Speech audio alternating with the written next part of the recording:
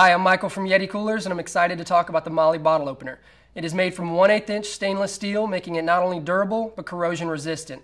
The MOLLE bottle opener attaches to the Yeti hopper, hitch point grid, or any other MOLLE system. It can attach to two loops or three loops on the Yeti hopper. First, I'll show you how to do it with three. This is going to be easiest when the hopper is open.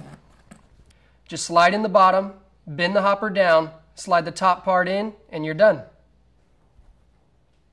Now I'll show you how to attach it to two loops. This part is going to be easier when the hopper is closed.